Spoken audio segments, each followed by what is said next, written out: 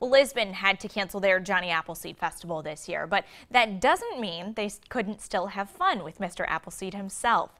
The Lisbon Chamber of Commerce is selling Johnny Appleseed masks. Now, some trees have been put on them, some have apples, and others have a picture of Johnny Appleseed.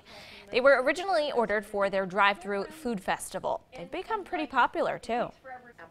I just got a card from a lady. She ordered one from Washington State.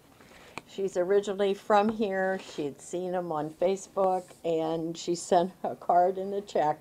And now I will send her one out to Washington. Now each mask is $12, but they've only got about 50 left.